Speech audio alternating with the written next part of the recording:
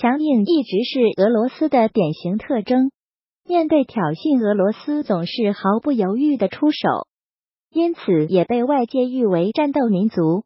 虽然如今的俄罗斯早已经没有了前苏联时期的辉煌，但是其强悍和血性还一直都在。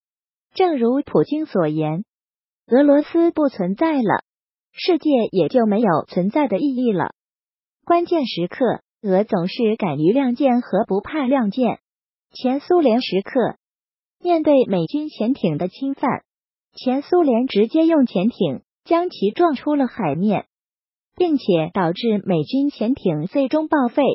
面对美军战机的逼近，俄罗斯也是直接战机冲向美军的战机，直接美军战机逼退。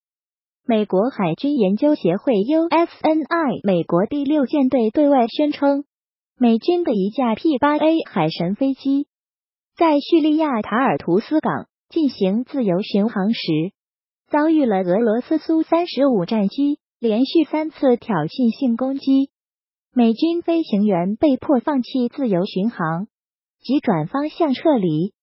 根据报道。美军方面指责俄罗斯方面过于用强，战机直接撞向美军战机既不专业也极其危险。根据报道，美军飞行员面对直接撞上来的俄罗斯战机十分的惊慌，被迫放弃既定飞行路线，终止了相关活动。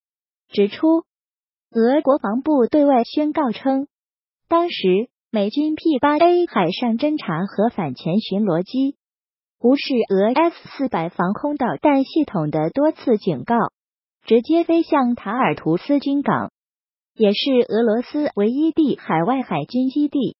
俄被迫做出反应。根据报道，俄罗斯方面指出，俄拒绝美军在自己的军事基地周围自由巡航，这是俄罗斯的权利。俄罗斯苏三十五战直接撞向美军战机，也是在俄警告无效后采取的应急反应，就是俄罗斯强硬态度的展现。这样的处理完全是捍卫自身利益的需要。俄罗斯方面指出，美军的指责毫无道理，完全是美军故意挑事才造成对峙与混乱。根据报道。由于苏三十五直接冲向了美军 P 八 A，混乱的气流差点导致 P 八 A 坠毁，所以美军方面反应十分激烈。美方指责俄罗斯过分用强，在美军自由巡航的问题上反应过度，增加了双方发生冲突的风险。根据报道，美军方指出，俄罗斯战机直接撞向美军战机的行动。明显给美军飞行员制造了恐慌，这是一种不负责任的危险做法。专家指出，俄罗斯拒绝美军自由巡航，采用战机直接撞向敌机的强硬举措，也是一种展现态度的实际举措。美自由巡航挑衅，俄警告无效，大国战机径直冲过去，逼退美军战机。